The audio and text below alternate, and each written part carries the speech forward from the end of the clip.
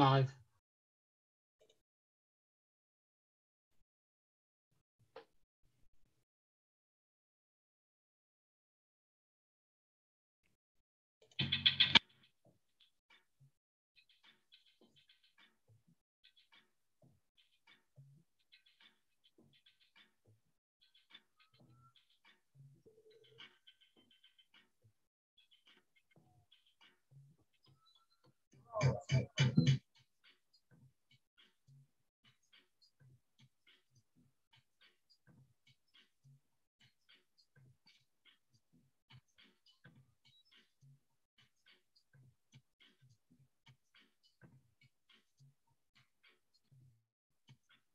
Okay, so hi, my name is Sebastian Budgen. I'm a founding member of Historical Materialism Journal and the book series and the conferences, some of which you will already be familiar with.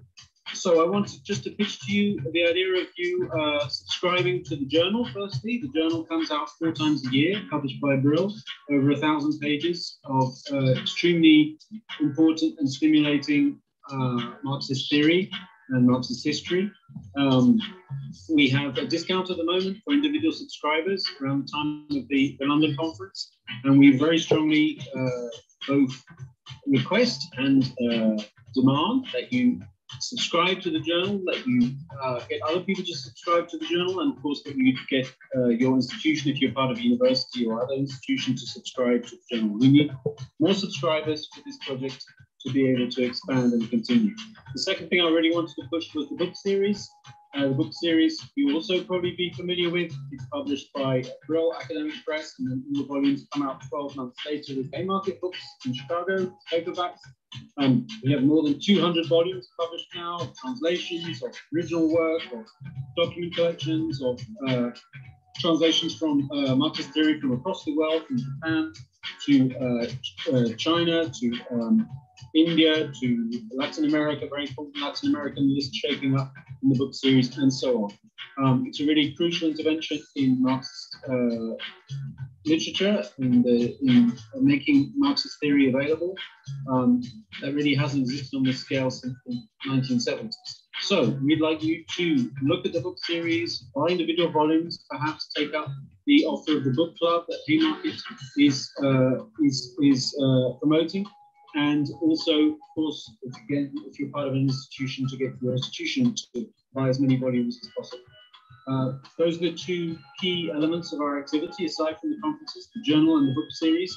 And we think it would be, uh, well, we it's essential basically for us, for our existence, for us to be able to continue to thrive, for those to expand. So please subscribe to the journal, buy the books in the book series, publicize both around you, and help us build historical materialism project. Thanks.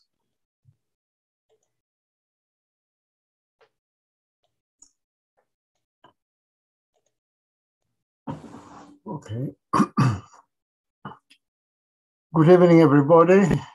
And I would like to welcome you to another of the ses another session of HM21 online. My name is Panagiotis Sotiris, and I'm a member of the editorial board of Historical Materialism. And tonight's panel is entitled Cultural Resistance Under Post-Human Capitalism, a locust review imago panel, uh, which is indeed organized by the Locust uh, Arts and Letters Collective, three members of which are present here tonight with us Adam Turl, a writer and artist, and a member of the collective, Tish Turl, also a writer and artist, and Alexander Billet, a writer, radio producer, and also also writes for a review such as Jacobin. And uh, they, the Locust Arts and Letters Collective is responsible for the Locust Re Review, which whose website you can visit and also uh, learn about their particular uh, aesthetic strategy, what they call the critical irrealism against capitalist realism. And since they like to combine theory, practice, artistic practice, and also theory, you should also check uh, Imago, which is the, let's say, theoretical arm of the uh, Locust uh, project. Before I give the speech, and although you already heard it from Sebastian Budgen's avatar at the beginning of this session, uh, please, uh, although this, this conference is offered without any registration fee whatsoever, please uh, donate through the Eventbrite uh, webpage, which we use for its to register for its event. The, the historical materialism project depends also on the on whatever income is generated at conferences. This helps us expand our project. Also, please uh, subscribe to the journal because you will have the opportunity to have like four of these uh, volumes each uh, year, about a thousand pages of uh, cutting edge Marxist theory uh, every year at something less than 60 euros if you take advantage of the 25% discount. And also, uh, if you're associated with an institution, get the institution to also have an institutional access uh, subscription. And of course, check out the book series, uh, which is becoming one of the most important projects of publishing uh, Marxist theory in various directions uh, in the past years, more than 230, 35 uh, volumes already out and around 30, 35 volumes each year, uh, which they appear once they appear one year after their appearance with Brill, which they might be rather expensive books, but they're books for libraries. One year afterwards, they came out they come out as uh, Haymarket paperbacks, really affordable, and there is a 40% uh, discount on Haymarket publications through uh, throughout the duration of this uh, of this conference. And of course, I take the opportunity to also thank Haymarket because he, Haymarket are providing us with technical uh, support during this uh, during this conference without further ado, I, I give the floor to, uh, to Adam. Uh, its, uh, its presenter will have around 20 minutes. Let's keep it to that limit so that we have at least half an hour of discussion.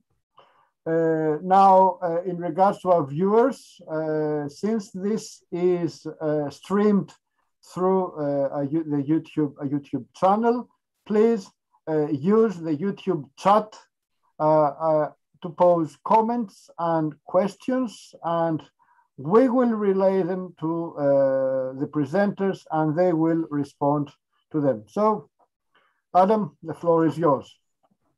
Thank you uh, very much. Uh, let me share my screen.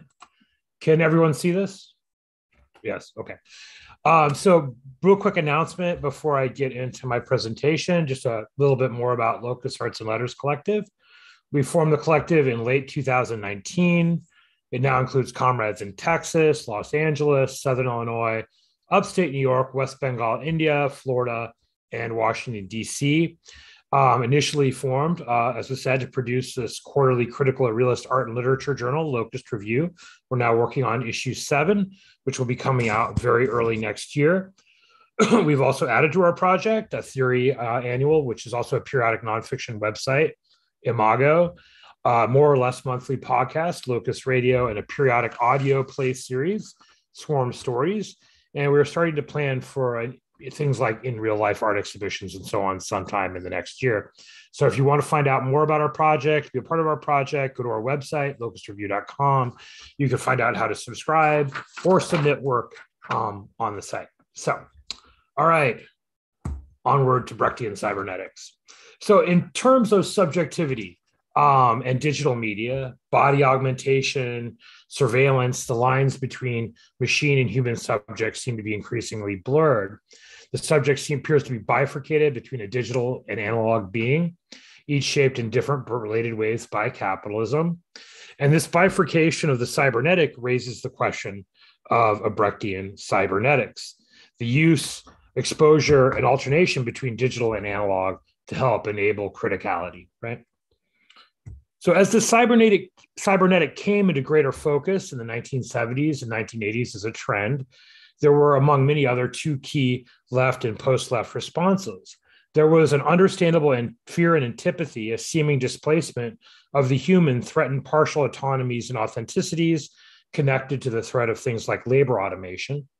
This was sometimes presented in a questionably gendered imagery and terms. A misogynistic understanding of the subjective and hysteria about male penetration responded to a legitimate fear with a sexist framework. As Mark Fisher notes in David Cronenberg's 1983 film Videodrome, the main character, Max Renn, grows a tumor that causes televisual hallucinations. Max's, Max's cybernetic alteration means he is not extended, and this is a quote, but literally invaginated. Conversely, given that subjectivity at the time and, and, continually is often and was presented in an essentialist manner, many queer and feminist writers embraced the cybernetic's potential for easing subjective fluidity. One of the most famous arguments along these lines was Donna Haraway's 1985 Cyborg Manifesto. And of course, while the, this potential for the cybernetic was real, this perspective sometimes downplayed the extent to which the cybernetic would be shaped by capital. And I think this was a missed encounter. The problem with the cybernetic flow as it was developing was primarily about self determination, consent, and control. As Jodi Dean argues um, in her 2003 article, Why the Net is Not a Public Sphere, the internet is structured by an ideology of publicity in the service of communicative capitalism. For Dean, the contradiction of participation is central. She writes precisely those technologies that materialize a promise of full political access and inclusion drive an economic formation whose brutalities render democracy worthless for the majority of people.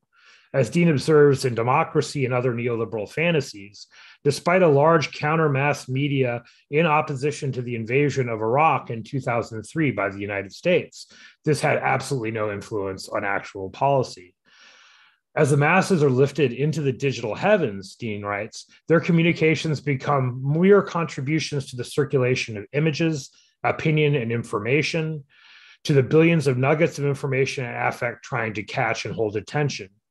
And this is part of the process by which the value of the use value of communications gives way to exchange value.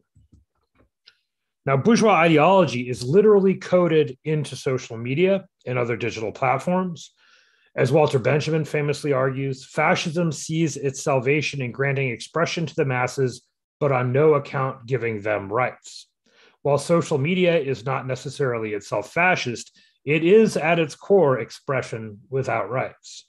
The people who most shaped digital communicative capitalism took the libertarian impulses of the New Left, excised its egalitarianism, its socialist and new communist trends, and fused those libertarian impulses with both messianic feeling and the neoliberal turn. Apple Computer, Dean notes, encapsulated this in this advertisement from 1984. It's about time a capitalist started a revolution.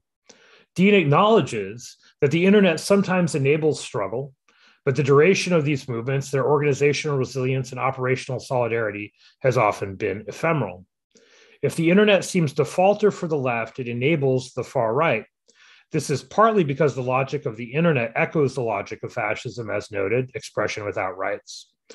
Richard Barbrook and Andy Cameron, in their 1995 essay, The Californian Ideology, situate the ideological origins of Silicon Valley at the intersection of Bay Area counterculture and the neoliberal turn, a fusion of technological determinism and libertarian individualism among a highly skilled and contracted labor aristocracy. Layers of this group came to believe they created cyberspace from individual genius, forgetting its origins in massive government subsidies and the DIY ethos of its earliest programmers. They embraced Jeffersonian ideals of petty bourgeois democracy which also eventually led to some of its more overtly anti democratic ideologies today. Barbrook and Cameron argue the Silicon Valley idealized world that, uh, that Silicon Valley came to idealize a world of cyborg masters and robot slaves, in which human labor is minimized and power rests with the cybernetic labor aristocracy. But capitalism, being capitalism, human labor remained central. Barbrook and Cameron write, mm-hmm. reflecting on Thomas Jefferson. At his estate at Monticello, Jefferson invented many clever gadgets for his house, such as a dumbwaiter to deliver food from the kitchen into the dining room. By mediating his contacts with his slaves through technology, this revolutionary individualist spared himself from facing the reality of his dependence on the forced labor of his fellow human beings. In the late 20th century, technology is once again being used to reinforce the difference between the masters and the slaves they write. This democratic ideal, therefore, prefigures the post-human, hyper-Cartesian, and even the dark Enlightenment ideas that would later percolate in Silicon Valley, or at least its darker corners. While tech neo reactionaries are anti populist, they share with the proto fascists hostility to the so called cathedral, a term initially used by cyber utopians to describe the ideological apparatus of modernity, higher education, the press, and mass media, counterposing it to a supposedly open and democratic bazaar. But the petty bourgeois character of that bazaar concentrated power over time, as it does in capitalism, is no longer an anarchic market, but something more like a monetized counter cathedral predisposed to erratic right wing populisms. Consider the key contradiction on the question of democracy from a pragmatic coding position within the logic of uh, community capitalism. People say they want X, but we know from our data they want Y. People say they want informative and thoughtful texts and beautiful and sublime images. We know, however, they click on banality, celebrity trauma, porn, racism, sexism, and fascism.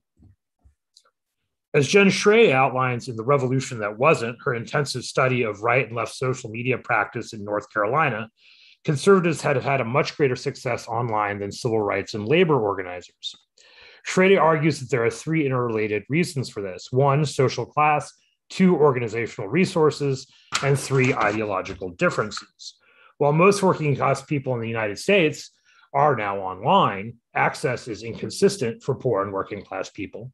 And successful digital interventions and propaganda actually does take resource and organization. Schradie observes key labor and community organizations on the left were consistently outgunned in terms of digital propaganda by right wing organizations throughout the 2010s. In terms of ideology, the right's approach dovetailed with the structure of social media to a far greater degree. Civil rights and labor organizations often aim to activate and incorporate people into self conscious activity.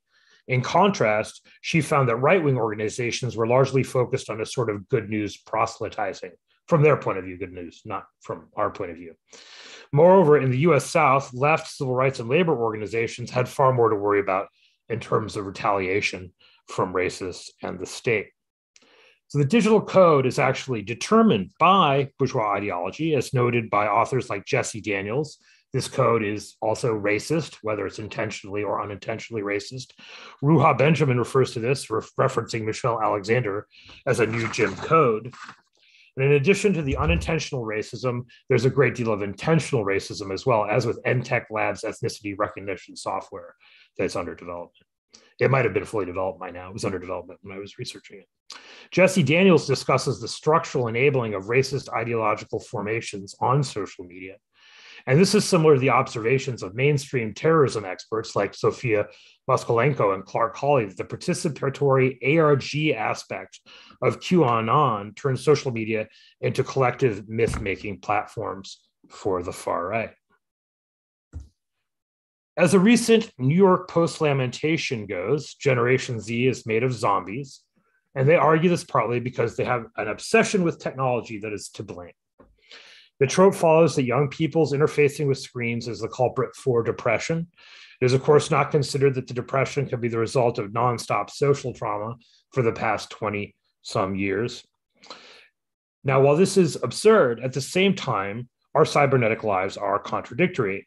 We do not truly control the machines that are increasingly part of our subjective existence.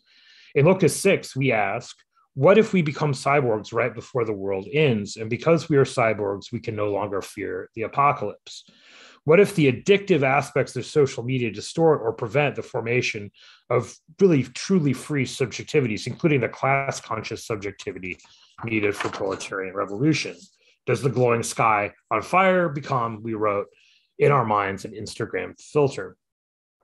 We also responded in Locust uh, 6 with a counter imaginary. What if, having become part machine, class consciousness demands we figure out how to be in solidarity with that part of us that is machine? What if the machines, Being dead labor, the products of previous generations of labor, in an animist sense, are our working class ancestors.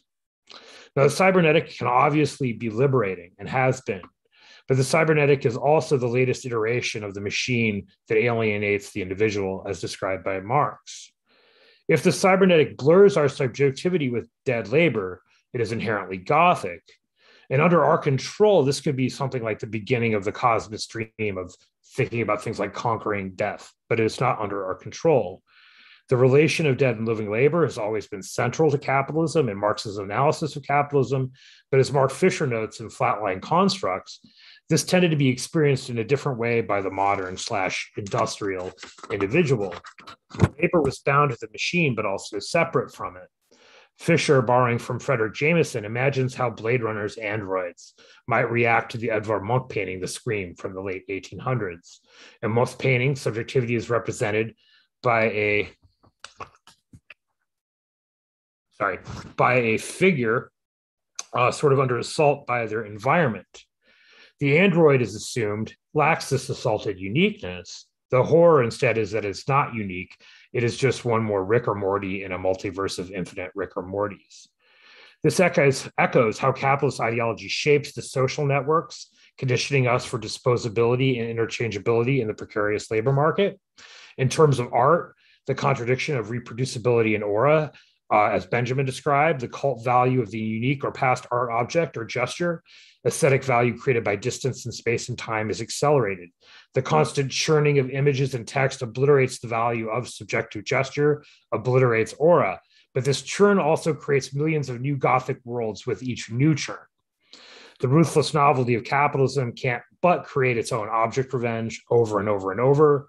And the cybernetic creates Frankenstein's monster. So critics like Baudrillard are wrong, I'm arguing, in saying that the technological reproduction means a hell of the same, or that infinite reproduction must produce sameness and a permanent eradication of aura and cult value.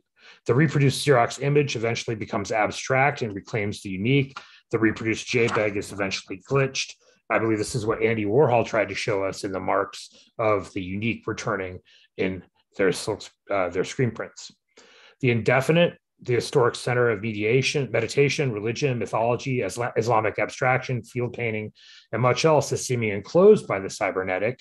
Space is mapped, as are the once vast forests, deserts, and oceans. Everything is known, but in the knowing somehow ceases to be what it had always been.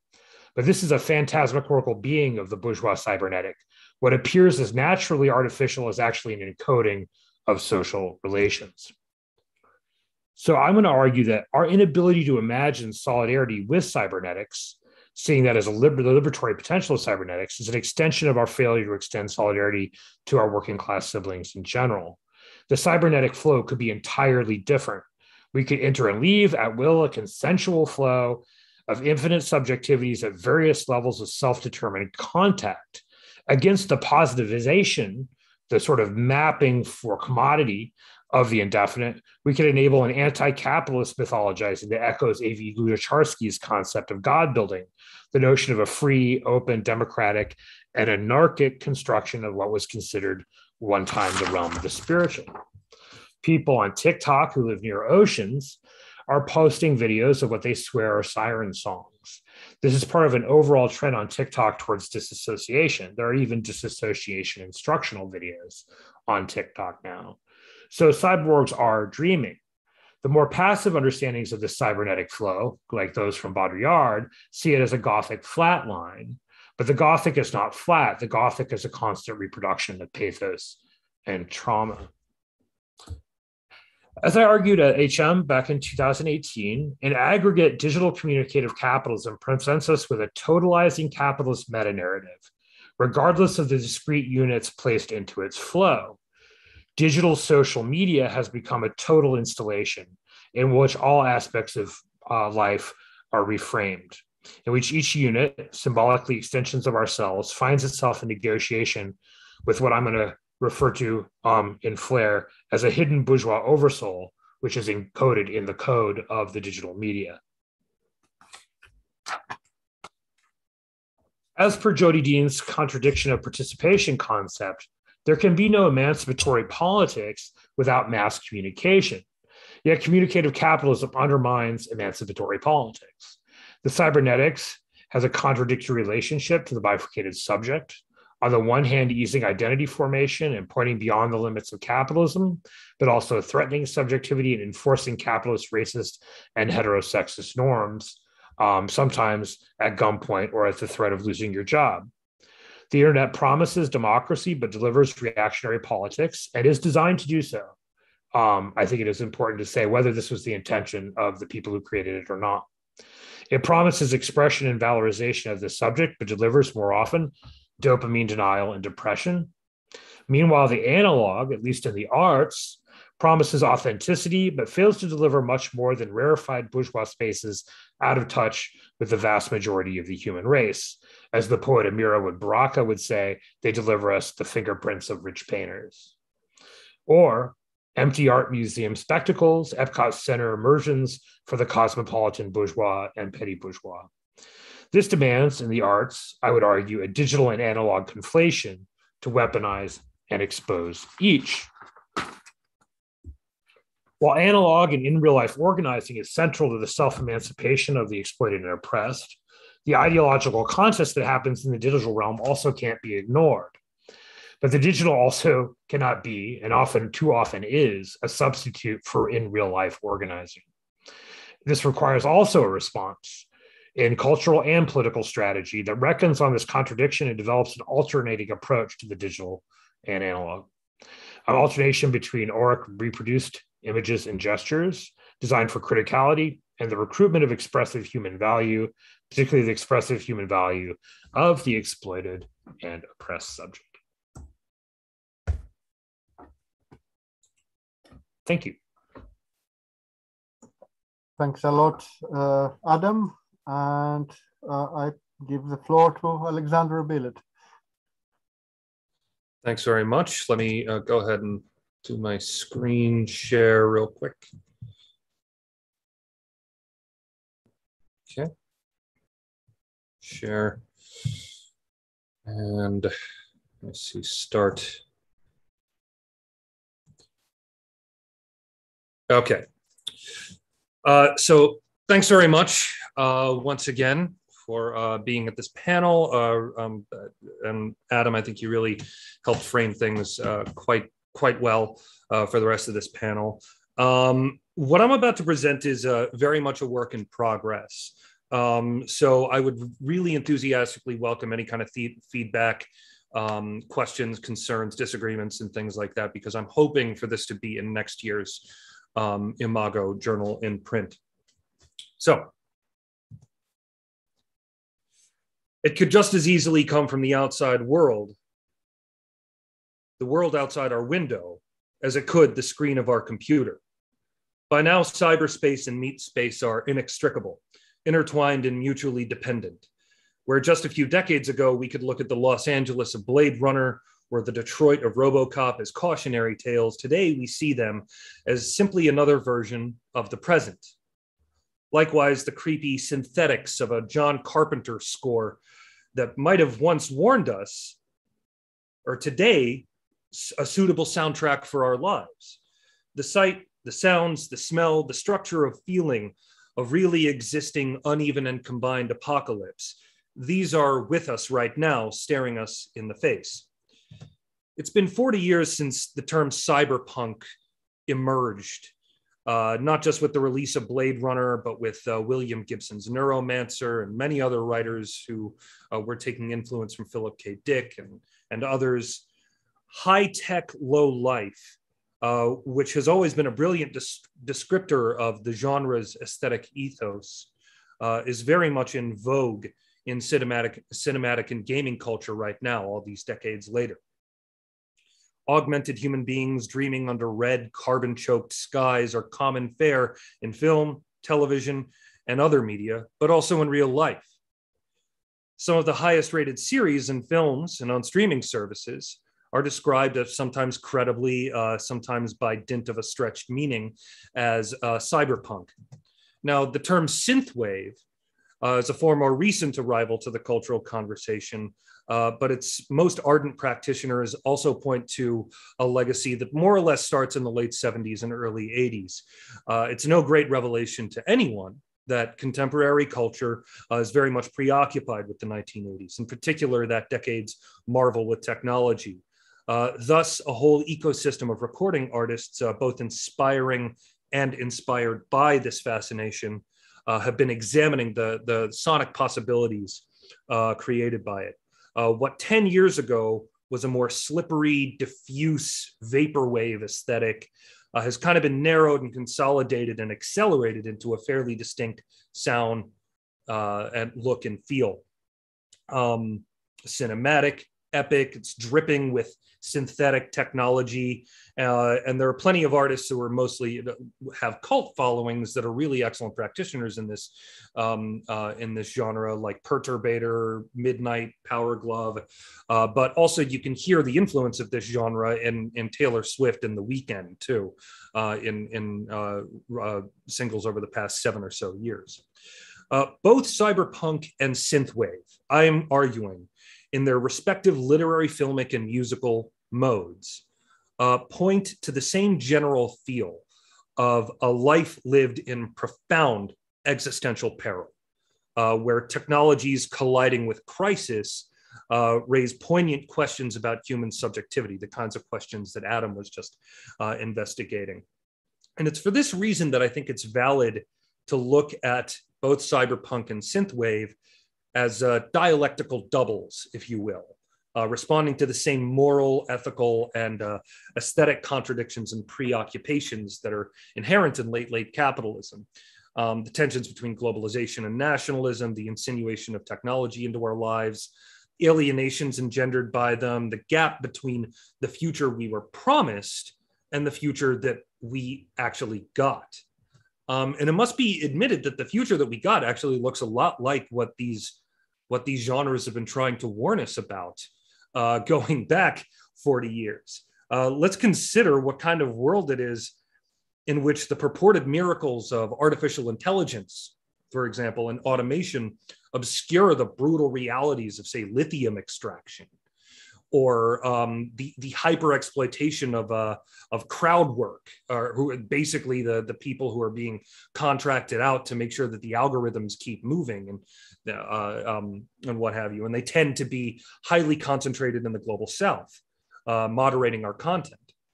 Uh, but and or think about cryptocurrency. You know the the massive amount of carbon that it spews into the atmosphere every year, and now uh, governments like uh, El Salvador and most recently uh, New York City are are really going out of their way to to uh, uh, uh, become hubs of this highly unregulated, highly dangerous uh, ecologically dangerous form of currency. if these films, books, games, songs that I'm describing in synthwave cyberpunk, um, if they were intended to show us a world of attenuated exploitation and alienation, then it would appear that our moment in which obsolescence is experienced not just by things, but by places and people has caught up with the predictions. Uh, it's easy, I think, for those of us uh, who are sort of predisposed to doomerism, as and there, there's many of us, including some of us in the Locust uh, Arts and Letters Collective, uh, to sort of just really lean into this. Um, plenty of us are always sort of instinctually there. This would be a mistake, though, to sort of give up and give in and say that this that this moment that the structure of feeling only leads in one direction. Um, for it keeps the understanding of cyberpunk and synthwave very much at surface level and ultimately ahistorical. So, what I want to examine here is what the reification of these genres, of these creative expressions, looks like uh, in some contemporary culture, and also pose uh, an alternative in which the more reactionary uh, characteristics of them aren't being amplified, but and in fact some of the um, some of the um, more more progressive and even radical and revolutionary ones. Uh, if we're in need for an avatar of what's wrong with uh, contemporary cyberpunk, then we really only need look at the video game that uh, came out just this past winter. Um, as a reminder, this is a game that was anticipated for the better part of a decade, with multiple delays cropping up along the way. Then in December of 2020, when it was finally released, um, all the expectations, the heightened expectations around this game were completely dashed. Uh, stories had already come out that perfect, perfectly fit uh, with uh, what we had already come to know about working conditions and labor practices in the video game development world. Um, and uh, this played out, I would say, uh, in the actual content and the actual uh, um, execution of the game. Cyberpunk 2077 definitely has all the shallower markers of a shallow of a, of a cyberpunk story uh, Night City, where it takes place, is highly technologically advanced, but also incredibly stratified by class and inequality. Uh, every conceivable service or so, social good has been privatized. Uh, thermonuclear war and a toxifying ecology loom in the not so distant past and all around the all around the city.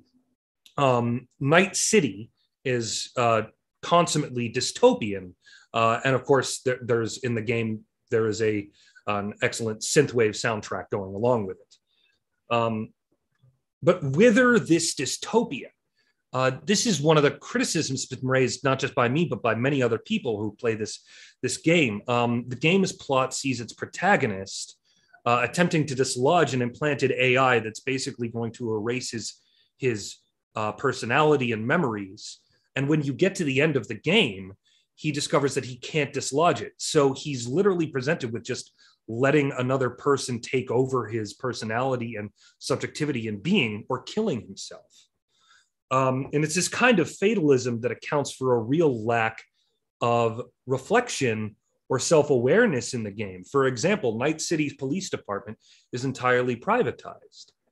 Um, but apart from this being sort of just a cool plot device, it's not really examined what this means. And this is, of course, happening right as private police forces are starting to crop up all across the United States right now.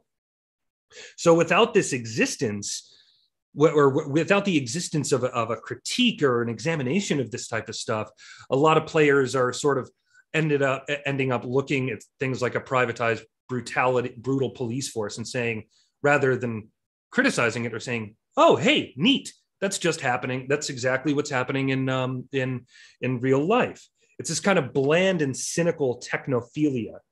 Uh, as fellow Locust Arts and Letters Collective member Drew Franzblau, who produces uh, um, our podcast and uh, Swarm Stories, um, and is also a gamer, he pointed out to me the most cyberpunk part of Cyberpunk 2077 were the glitches, because that's um, the, the, gamers encountered thanks to the sort of its rushed release. As Franzblau perceptively pointed out, uh, these accidents, these glimpses into gaps the technology couldn't or hadn't managed to paper over, actually forced players to ask questions about the game and, and the world they were entering uh, the developers hadn't intended.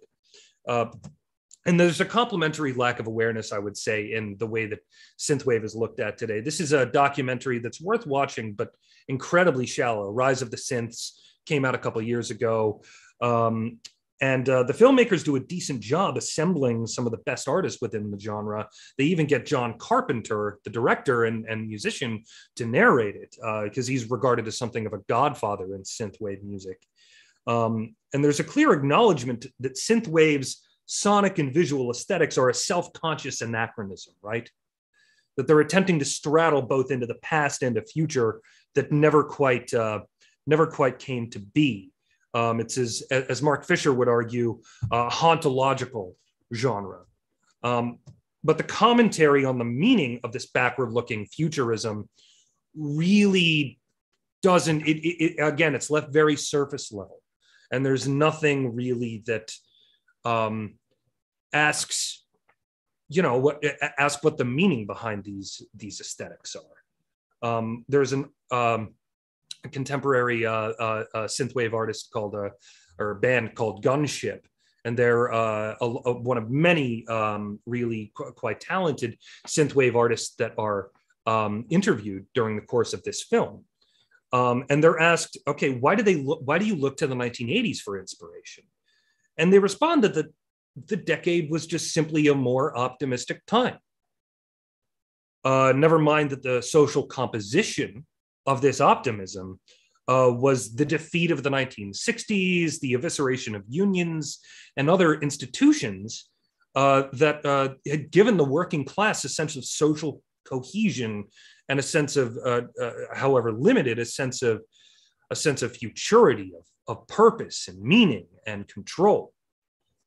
Um, so, and all of those, of course, were just switched out for this yuppie individualism, you know, Reaganism and uh, neoliberalism and everything else that, that we know uh, that really gained uh, gained steam in the 1980s.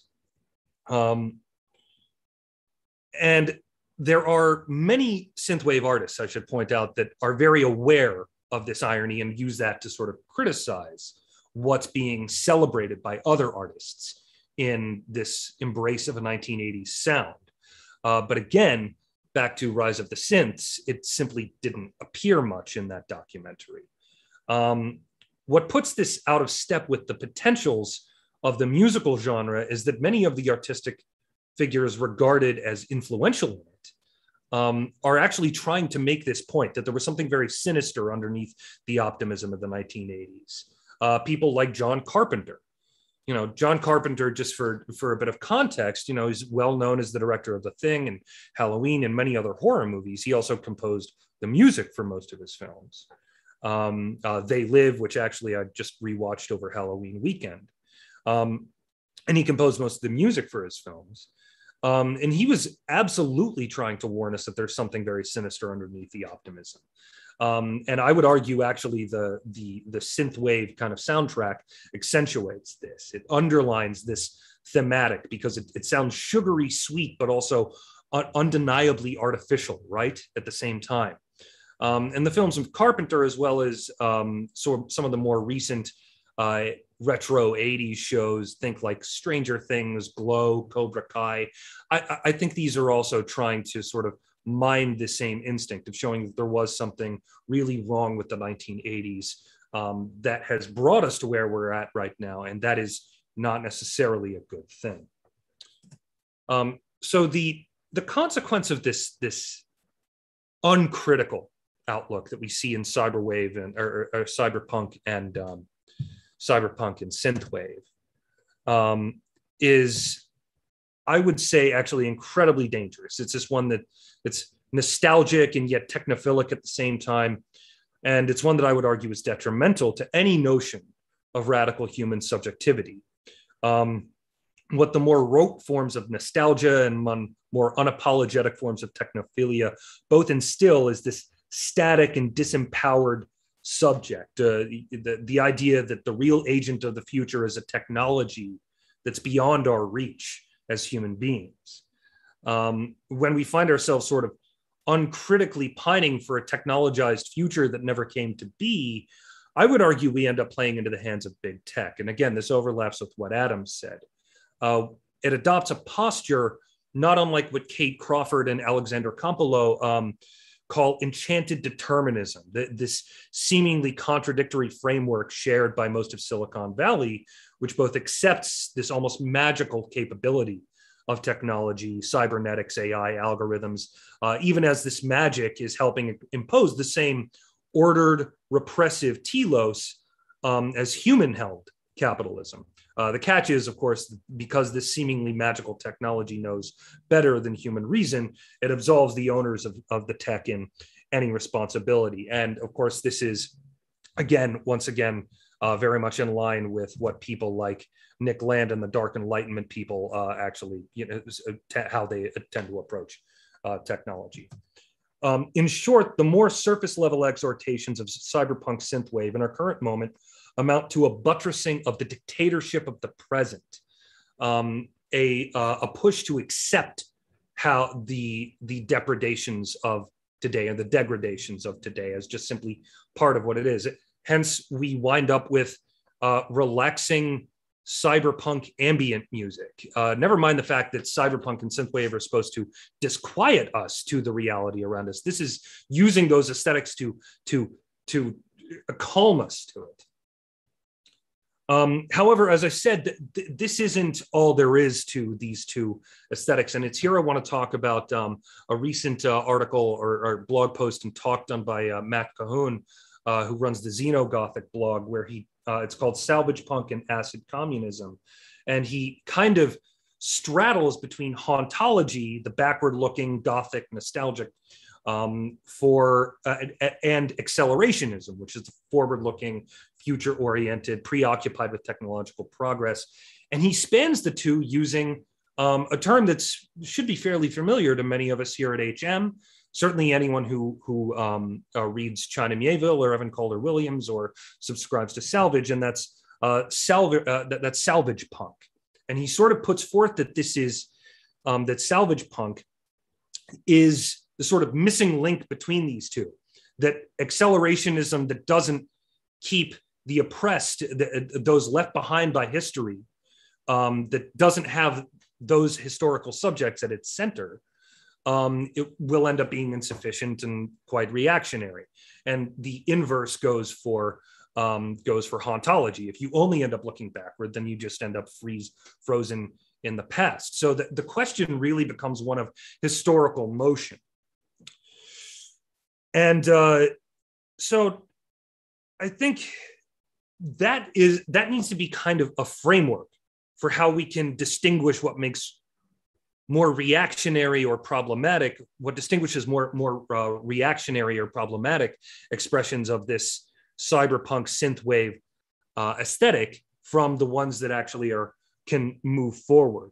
Um, and it's it, it, it, this is very much in line with what how the surrealists approached uh, subjectivity also, where they put like it's not just about putting the umbrella and the the um, the sewing machine together on the operating table and saying, "Hey, isn't that neat?"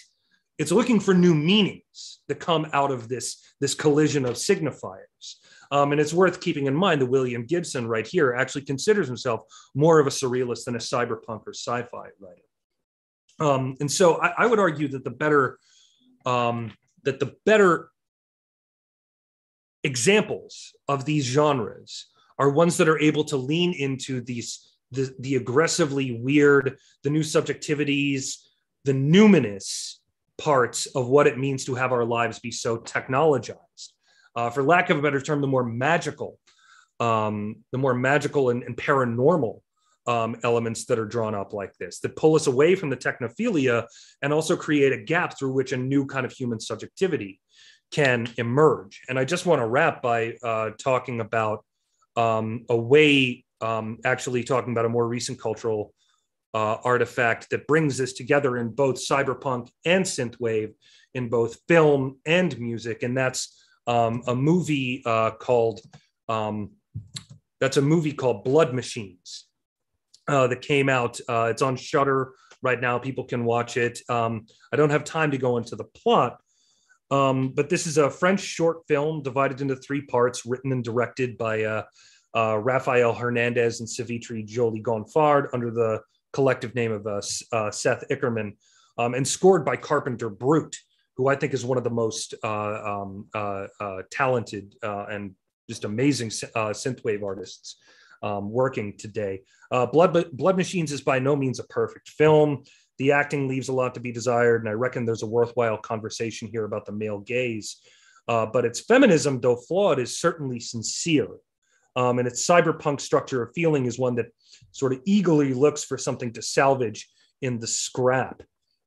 Uh, though there's no mistaking that the numinosity we're seeing is cosmic in nature in the film. Uh, we're not always sure whether it's scientific or paranormal in nature, or uh, both, maybe, you know, with each slipping into each other. Uh, the voices that come out in the score are rarely human, but they seem to have less of a ghost than a soul animating them.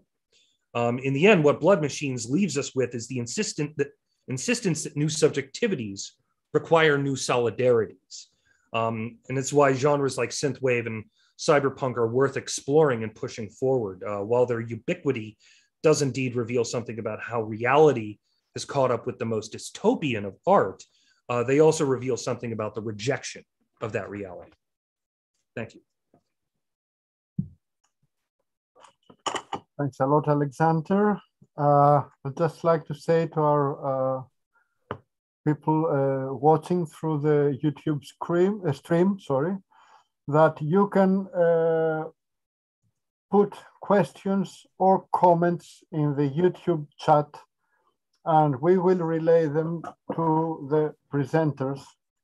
So please, whenever you think you want to ask something or point to something or comment upon something, just write in the YouTube uh, chat. And I now give the virtual floor to Tister.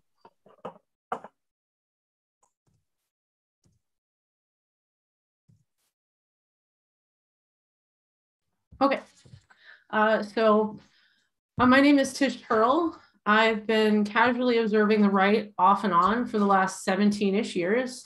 I started on 4chan when I was around 16. I got bored on the paranormal board and decided that to find other ways to scare myself. Uh, at the time, I was uh, a grumpy atheist and disillusioned with the post 9 11 world that I'd grown up in. And I was almost pulled into right wing conspiracies via the 9 11 truth movement many, many years ago, which drove me to keep an eye on what I used to think was just like the cesspool at the bottom of the internet. Uh, since summer, I've been closely monitoring how the right is developing on Telegram. Uh, some of the images in this presentation contain material which is upsetting. Given the topic, it's not possible for me to remove everything, but I tried really hard to use content that could trigger only when it was absolutely necessary to show you an honest example of the daily goings on uh, in these gathering places.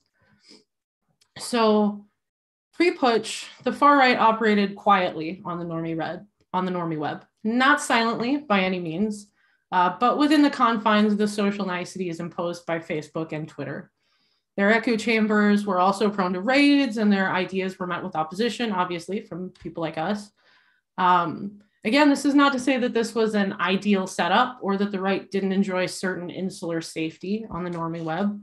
This is also not to say that no right wingers were using things like Chan boards and Tor or the Onion Router, which is an anonymous open source internet browsing software that you can use to access the dark web.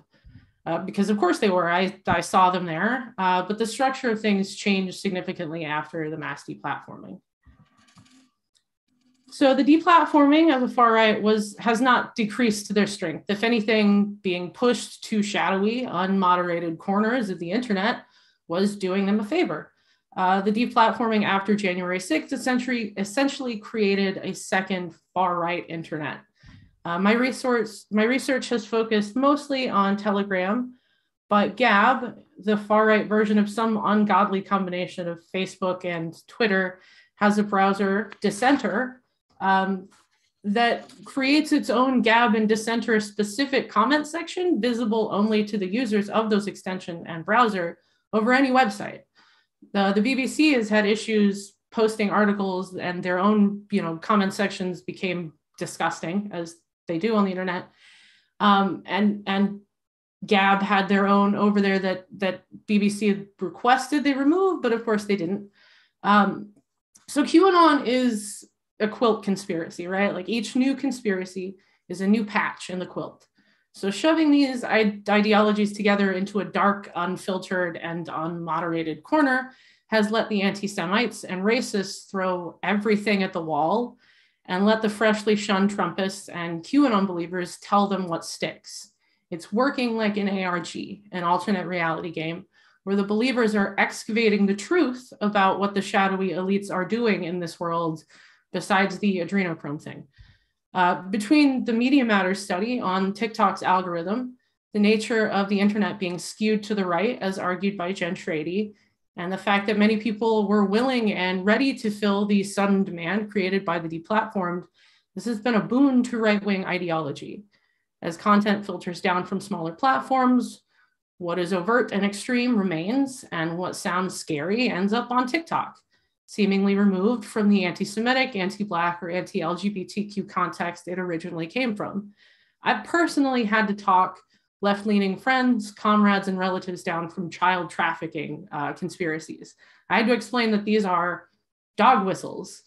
TikTok is in itself a platform full of myth making from younger people doing everything from dissociating into fictional worlds to pretending, as we saw earlier, mermaids and sirens exist.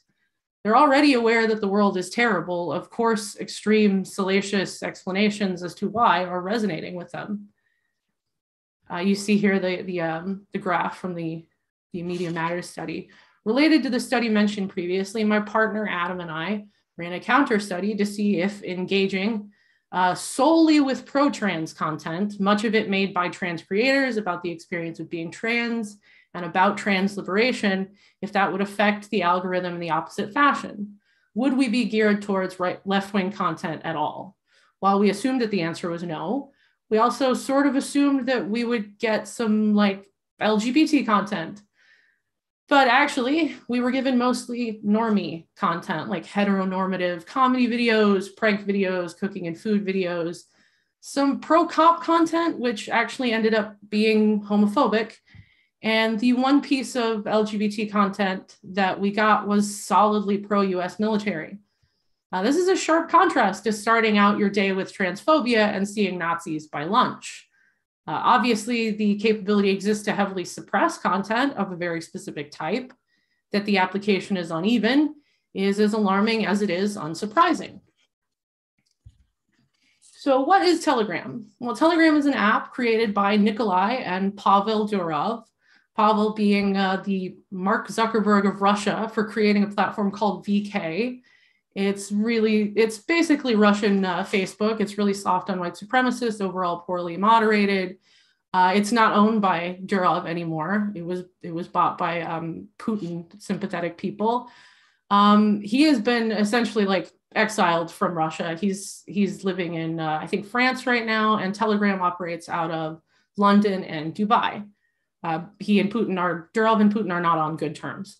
Telegram is now essentially the main myth making platform for the right, insulated from even the unsatisfying moderation of Twitter and Facebook and the opposition they might find on those platforms. Aunt Karen is now sharing memes about a resurrection bed that heals all of your illnesses and brings you back to life, and how it's being hoarded by satanic politicians. And she's sharing those memes with someone who would very much like to tell her that those politicians are, in fact, working towards white genocide channels are aggravating, aggregating conspiracies, and what does not spread dies. What spreads is woven into the collective myth. I've read about Hillary Clinton being hung at least three times. I've read Joe Biden is an actor. JFK Jr. is Q, and he will be Donald Trump's vice president. Q is Jesus Christ up in heaven on a MacBook. I added the MacBook part, but there are people who literally believe that Q is Jesus. These channels and chats range from, range from just a few hundred people to over 400,000 people. Ron Watkins, the former 8chan admin who was heavily associated with Q, has over 400,000 followers in his chat. Uh, so these are the uh, six layers of, um, of far right Telegram that I've, I've uh, sussed out. They obviously overlap heavily. Uh, the intermingling between these groups happens with content but also with people and cross chat raids. Also, other layers exist. Um, because as I said, Q, QAnon operates as a quilt conspiracy. Uh, even if your conspiracy directly contradicts my conspiracy, we'd probably agree on something else. And the shadowy nature of the menacing they means even if you think they're lizard aliens and I think they're Hollywood Satanists, we both know that they're harvesting adrenochrome or something. Uh, so, love for Trump has not lasted forever. There are a number of people who have peeled off further into Q and occasionally away from Q entirely and into the welcoming arms of fascists and white supremacists. Still, these are the largest groups, anywhere from 20,000 to about 400,000 people, usually in these groups. I chose these images to show the background noise of widely followed general Trumpist channels transphobia, which we've seen exists as a gateway within normie internet algorithms to fascist Nazi content, is here mingling out in the open with anti Semitism, racism, and memes posing Trump as the savior of the American patriot. And this video you see uh, this of Michelle Obama is a TikTok video.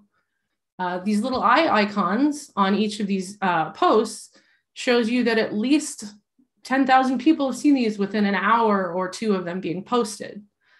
Uh, this is this is, as I said, probably the largest category of far right Telegram users, because when people like Lin Wood and Michael Flynn and Ron Watkins made Telegram a base for their content and interactions, Trumpists rushed to follow their deplatformed heroes, especially initially to the election fraud channels, which are dwindling, but not not not at any any decent rate. Uh, so uh, the posts uh, the posts on this page from from We the Pepe here on the Evangelical Christian Q. Um, this refers to a supposed New World Order project that was supposed to aid in the rule of the Antichrist by projecting false images of demons, conditioning people to self subjugate. Uh, the general reply to this was that they were happy to know that it wasn't real because their own firm beliefs that Jesus would return made like they think that it was going to look like this. People in the comments under this picture were basically talking about running towards it because they were aware that it was fake this was an opportunity for them to rise up against the sleeping sheep of America who would have been fooled by this. Evangelical Christian Q hypothesizes that Trump's return to the presidency will begin the time of revelations. Even though many of these people believe that Trump is still secretly the president, they hold that the moment that that goes public as incredibly significant. Until it goes public, things are still moving in the shadows to be uncovered by them. Uh, the two images on the left show the firm link between trusting the plan, trusting God, and trusting Trump. These groups usually have anywhere from 10,000 to 150,000. New Age Q loves Nikola Tesla, energy readings, magnets, auras, crystals, aliens, angels. Groups are usually in the 20,000 to 100,000 range, although mostly under 50,000. Uh, I keep mentioning the blending between the layers because it's an, an important part of how all of these things stick together. Uh, because they're directly contradictory, a lot of them. Evangelical Q does not believe in aliens, but New Age Q believes in angels. So maybe we mean the same thing. Who knows? God is mysterious. At least he led us all here together to defeat Hillary Clinton. Uh, in the middle, we have more anti vax sentiment from a slightly different perspective. They don't have to agree on why you shouldn't take it, just that it's evil. And on the right, uh, uh, yeah, we see we see Q being framed as the representation of the Great Awakening. To New Age Q, this means the dawning of a new era or the great spiritual awakening of mankind or any other number of theories they have about magnets, the earth, and alien life having seeded life on this planet. Uh, these groups, the Patriot and Proud Boy groups, are usually about 50,000 to 100,000 members. Uh, War Room on the left here is sort of like a news aggregation, mostly for like Republican men who use the word RINO as, a, as an actual insult. Uh, it favors Republicans like Marjorie Taylor Greene and advocates for local involvement in politics and hassling your politicians. This is a, re a recent movement within Q and the right which is why you're seeing a lot of like childless anti-vaxxers and anti-maskers going to school board meetings and yelling about freedom and child trafficking. War Room is an anti-vax uh, uh, channel and it tends towards the COVID is a hoax slash COVID is just the flu thinking. The Western chauvinist uh, is a cesspool of, of Proud Boy and adjacent memes, news, and ideology. It's not, as far as I know, directly linked to any specific Proud Boy groups, but it is it is the, the usual racist anti-Semitic Proud Boy stuff. The pink image here on the far right is actually from 4chan. I chose that to show that uh, uh, to represent the link that there is between the Chan dirtbags and and Western chauvinist Proud Boy ideology. Uh, so incels and Chan board dirtbags. Chan channels and chat chats exist on Telegram, mostly as meme, dump, meme dumps and Chan style um, like bro displays of racism. There aren't many dedicated spaces for incels and Chan board dirtbags, but they do exist. Uh, membership ranges from 2,000 to 30,000. Mostly these people exist within Nazi, Proud Boy, Patriot, and conspiracy spaces. Nazis are not overly friendly to incel ideology. They are attempting to keep space for and protect white women. I can't find screenshots, but I can attest to seeing men in Nazi chats immediately shut down incels using misogynistic insults and slurs because they have a narrative in place for the moral downfall of Western women, and they don't need it being challenged by incels because it removes women from the victim position, which they heavily rely on. So the first image here on the left uh, is from Based Truth. It's a, it's a way for disseminating propaganda, this particularly this documentary, uh, which is disgusting.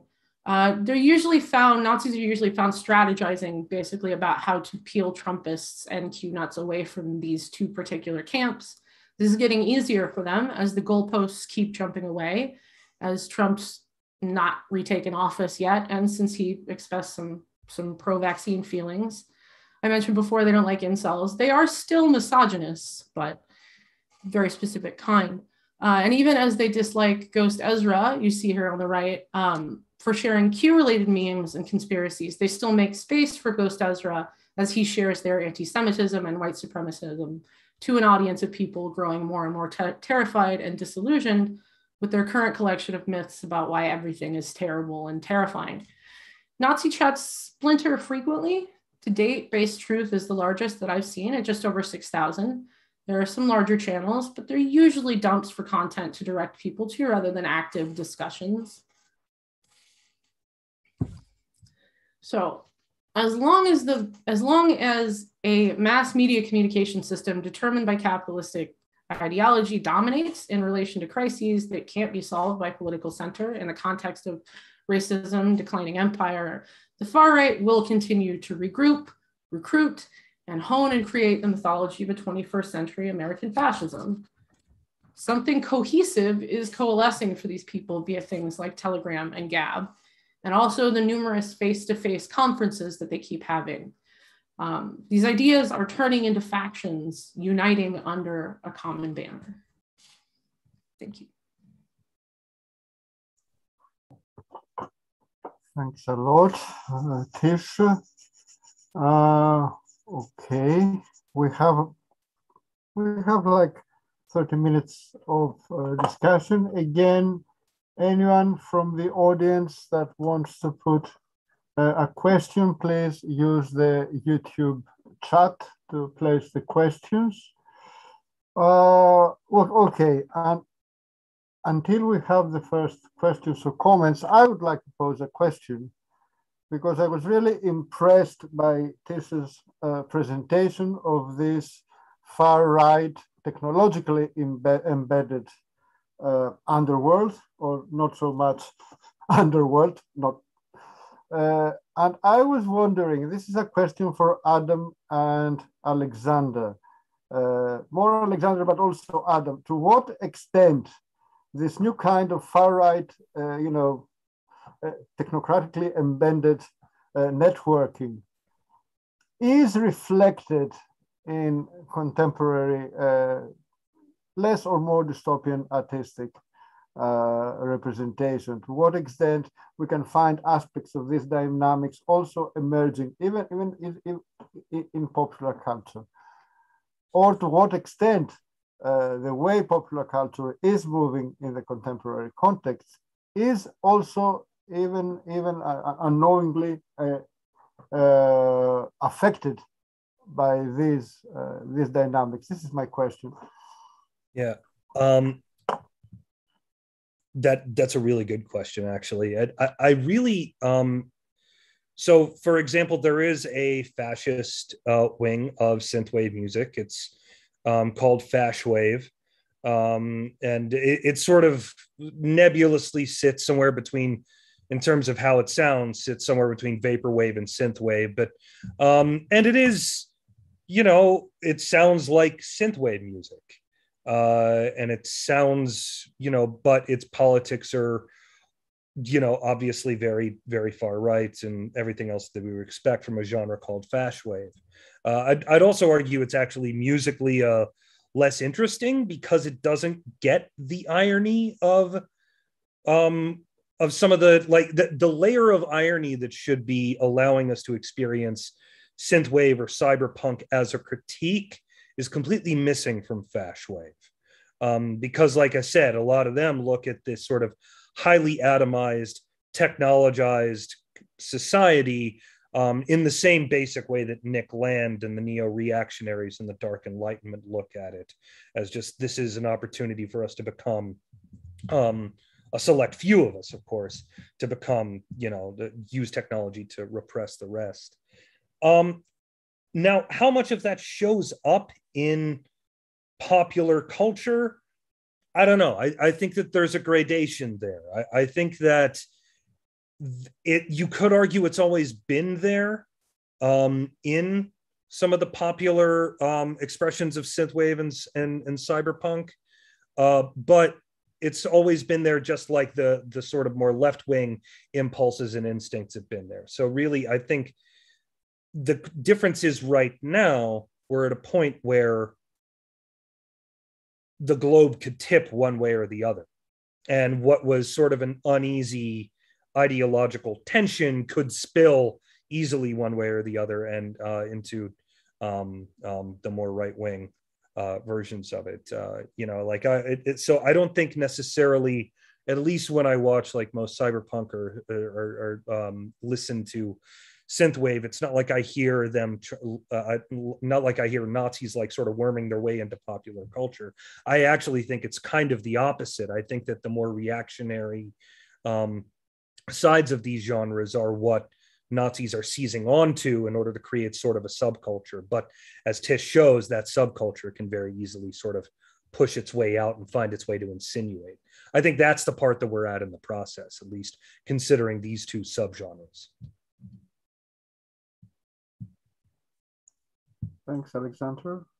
I, I, I can pivot off that a little bit. I think that, um, and this is related to something Alex really talked about um, in their presentation. you know, something that might be uh, cultural in terms of story and aesthetics and so on, a cultural warning in 1978, a, a critical uh, left wing warning can become bourgeois apologetics in 2020 or 2021 or whatever. So Romero's Dawn of the Dead, right, versus uh, uh, uh the TV show The Walking Dead um, or so on, or specifically from Alex talk that you know related to it, the privatization of the police department in the original RoboCop movie being clearly this dystopian nightmare, contradictory politics about the police and so on, of course, but it's this dystopian warning and satire. But in a current video game, it's just a neat little detail, and I think that this is related to um, something that Tish talked about in terms of like the TikTok algorithm, right? Like it appears as natural, right? Naturally artificial, but this is the phenom this is the uh, phantasmagoria of of this digital media. It's actually coded, it's an embedding of, of bourgeois ideology. So it all appears normal, right? It's mostly really stupid humor, dance videos, pets, cooking videos. Some of it's better than others. Sometimes it's funny, sometimes it's not. but if you look at transphobic videos, within a few hours, you're introduced to fascism or fascist videos.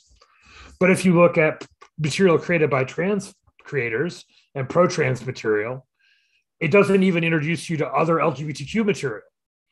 The normal web naturalizes fascism in a way while making unnatural communism and so on. And I think this is related to um, uh, Benjamin um, the the internet aestheticizes politics uh, for the most part. There's exceptions to that. There's all sorts of contradictions to that. I think it is important to say that it isn't the case that the auric cult value of an image equals aestheticizing politics. Um, but this aestheticizing of politics that happens in digital media and in the reification of things that were critiques of capitalism and racism and so on over time, where a critique of capitalism becomes a neat little detail in a thing, is related to this process by which uh, far right things are are spreading. in a way that far left things do not spread, despite the original utopian celebrations uh, amongst like not radical leftists, but the Habermas like liberal Democrat types um, about the possibility of the internet.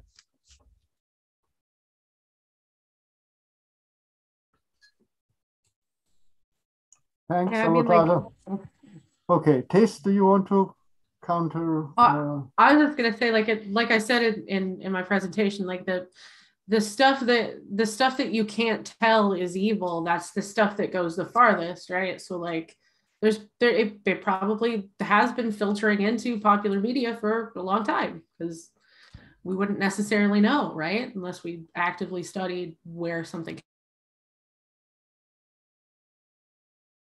Okay, we have a question from the from the audience. Uh, and the question is, any comments on Facebook's unironic attempt to realize the concept of the metaverse? Sorry, who wants to uh, take a stand on this? Okay, uh, well, I, I, I- see a non-verbal, very negative uh, reaction. um, I, I I I could throw myself out there. I, I, uh, only because I um I had to skip over it kind of briefly uh, um, in my talk because I was running over time. But I I mentioned when I wrote it originally, um, the metaverse is absolutely the extension of everything, or well, we'll see. But I think from what we've seen so far of the behavior of Mark Zuckerberg, Facebook, everything we've come to find out about its amplifying of far right um, far right content and it, its its shoddy moderation of that. Um, I think that this, uh, yeah, th- there's it, it. To me, the metaverse is peak cyberpunk, um, but peak capitalist realist cyberpunk. Um, the idea of being able to sort of simulate uh, you know a card game and things like that i mean it's this is the kind of stuff that was in the lawnmower man 30 years ago. Um you know it it, it feels really um it feels like one more step in all of this although a really really um uh important step in sort of as adam was saying the aestheticization of politics the aestheticization of human interaction um you know the the way that uh guy debord talks about the way that it's it's it's not actually you know that this is social relation being further entrenched into a representation um and a commodification a commoditized representation. Um and i think that it does not bode well uh for what we uh for the future of how we would you know it, it, if, if we want to long for and fight for, as I argue we should, like a more democratic internet, a more democratic model for technology and internet and making social media more social and less media, less mediation than, I mean, the metaverse is uh, not exactly, um, not exactly, uh, doesn't exactly bode well, as I said. Um, though my, it still could also fall on its ass particularly because uh, young people are running away from Facebook in droves right now. Mm-hmm. So I'll, I'll, I'll, shut up there. Anyone else wants to comment on this? They could have called it the metadataverse. I mean, that's what Facebook's business model really is, right? It's a collection of large amounts of data to target. Um, and definitely people are running away from Facebook here. Although in some some parts of the world, Facebook is the internet basically for some areas. Um, and then, of course, there's Instagram, and I think Facebook on WhatsApp now. There's some tension there because, of course, WhatsApp is a, mostly a messaging device, so it's actually harder to monetize in the same way in terms of information extraction. So, but they have some things to work with. But I think what is very telling is you have this corporation that, on the one hand, uh, has just been exposed for, from a bourgeois point of view, damaging democracy um, and putting their private business interests above uh, all else, announcing that they want to create a virtual universe in which their CEO or whatever is God. Uh, and that that isn't seen as absurd. It's right along there with Elon Musk and uh, Bezos trying to turn Mars into the Cape of Good Hope or whatever for a 21st century space imperialism. It's absurd at one level, but also because it's taken seriously, because all things with money are to be taken seriously. I'm paraphrasing Marx, regardless of how banal or stupid they are. Um, it has to be taken seriously uh, uh, by by us. I do want to say I made a mistake in my slides. I attributed a slide from the acid left to Adam Ray Akins, and it was actually from Mike Watson, and I wanted to apologize. Thanks a lot, Adam. Uh, okay. Well, we have a question from the from the audience, which I suppose is also an idea, uh, uh, sorry, a way for you to also, you know, uh, sort of uh, uh, offer your conclusions or how do you think things should go on from from now onwards. The question is from Laura Fersult, and it is any ideas of how the left should fight these things also touching on the concept of socialist irrealism. So, uh, who wants to go first on this?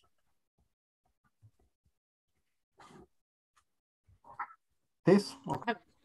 I have a small idea about how we could go about fighting some of the things on the right, and that's maybe to, in some ways, take a page or two from their book. The particularly the fact that they don't need to agree on all of the teeny tiny little details about a thing as long as they know that they're trying to get to the same destination they are more than willing to well we'll fight that out later. That's an important thing i think.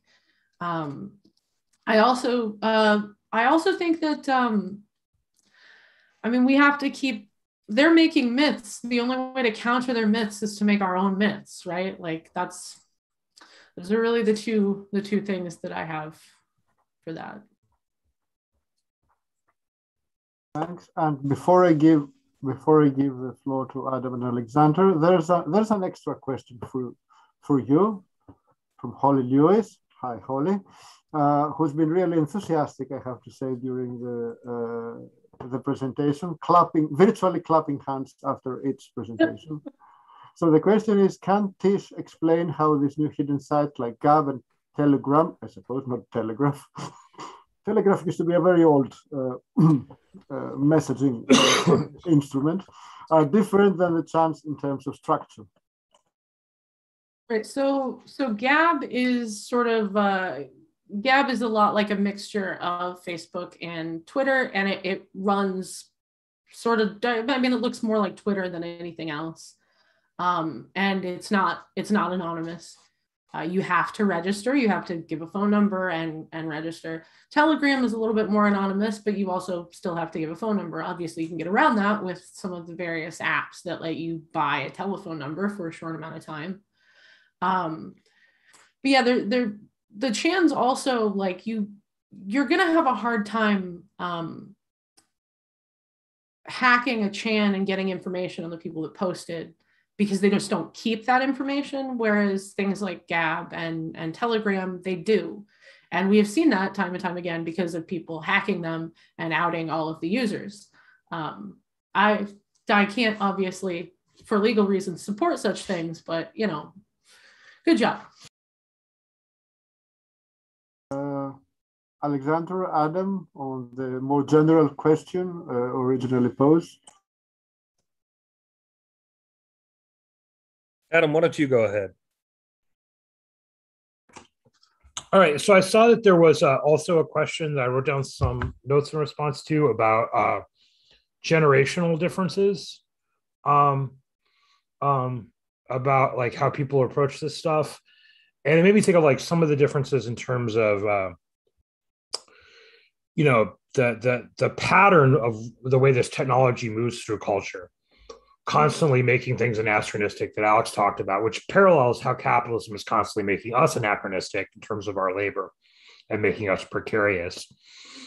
Which, of course, Benjamin observed in his essay on the work on on mechanical uh, in his age of mechanical reproducibility, the image or the artwork in the age of mechanical reproducibility, and it's the new image can be either critical or reactionary, and the auric image, the one with cult value, can be either critical or reactionary or in between or whatever. And there's constant innovation and novelty that is constantly, on the one hand, destroying the quote unquote aura of an image or the value associated with it or individual expression, but also then recreating it as that constant novelty and innovation moves moves forward. And I think this is related to what we've talked about and other people have talked about is a gothic futurist nature and time or history uh, for the exploited and oppressed subject, where the past is both victories and defeat. And of course, we said the future is both promise and threat. Um, so one of the things that happens with the reactionary stuff is this reactionary idealization, as Alex said, with the 1980s and so on. But you can also dig up you know, revolutionary images from the 1970s and and so on. You can have a technological future that's fully automated luxury space communism, and you could have an automated future that is a fascist fucking nightmare, right? So I think in terms of how that plays out with individuals is partly generational. Um, and so on in terms of what do they personally resonate with because of how they've moved through this pattern of constant innovation and trauma. Um, uh, because that innovation is not emancipatory for us, even though it has the potential potential for it. And so I think we have to shift and pivot um, with political as well as aesthetic strategies based on that. Um, I think in terms of practical politics, in terms of countering this, I think what Tish has, has said is really important. Um, the there's lots of sectarian fighting on the far right, but at the end of the day, they all agree that they're a bunch of racist shits and they're united around that goal. They're fundamentally reactionary, petty bourgeois goal that will enable a more vicious utilitarian capitalism. We're too sectarian and we're too passive. Um, whether we're passive because we're waiting for the next election or passive because we're recruiting somebody to a ridiculously high level of theoretical agreement to a Leninist cult sect or whatever, we're too passive uh, rather than organizing campaigns as much as we can in the here and now, being with the working class, being with the oppressed, organizing with them on a daily basis in order to achieve things and grow our side on the practical side. Part of that requires a digital strategy because we can't we can't concede this communicative space to the right into the mainstream, but we have to understand it's stacked against us. And a digital strategy there will only break through if we have an IRL strategy an analog strategy that builds the numbers and the forces and so on that can break through. In terms of cultural work, in terms of making art and literature, poetry, films, and so on, Tish is also absolutely right. We need a counter mythology, a counter mythology to both the mainstream capitalist realist, neoliberal, bourgeois mythology, as well as this growing far right exterminist fascist um, mythology. And our mythology has to be fundamentally different than both of those others because both of those others are commandist and come from the top down, or in the case of the far right, they want to reestablish a new top down um, with new people at the top uh, directing things. And what we want to do is overcome that completely. Um, the, one of the things that we talked to uh, uh, Comrade Adam Ray Akins about was uh, the question of could the left have an ARG like QAnon? And one of the things we discussed is probably not in this sense, because Q is a single voice and the multitude that follows Q is they're subordinated to it. And what we want is the subordination of the bourgeoisie and the fascists to the multitude. So our mythology has to be varied, contradictory, evolving, and so on. It has to be that true consensual flow, the, the radical potential of the cybernetic that is denied because for some fucking reason, We've created a communicative capitalism that interfaces with our subjectivity at an unprecedented level that is controlled by somebody who created an app to rate how women looked when he was in college. This person shouldn't be even allowed in polite conversation, let alone have control over something like that. But that's capitalism.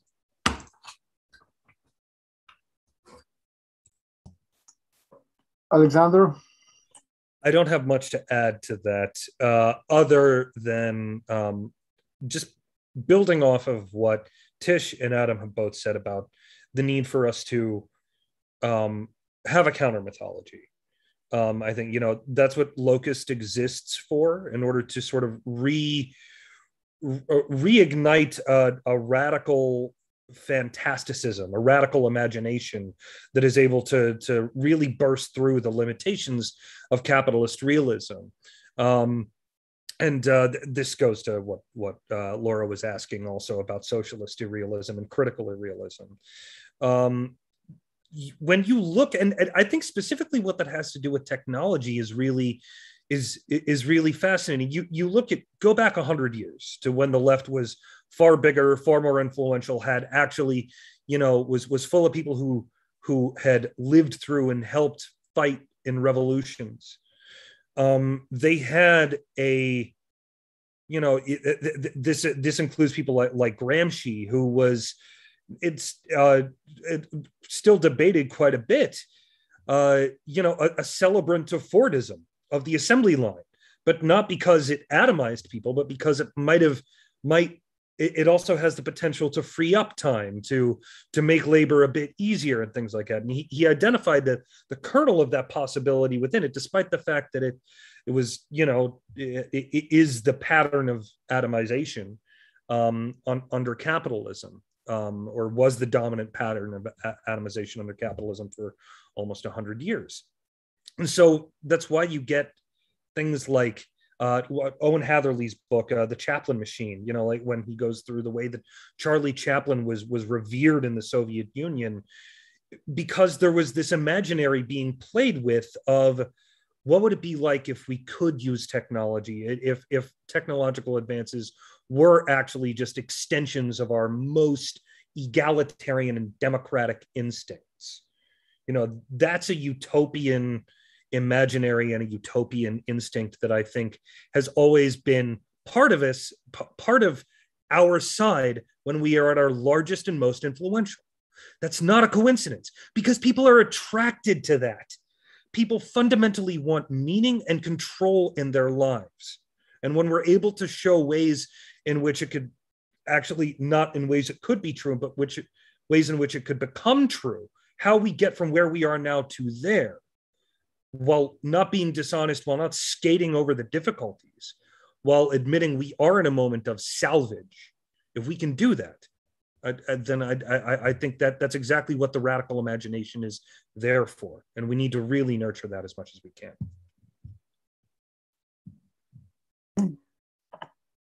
Thanks a lot.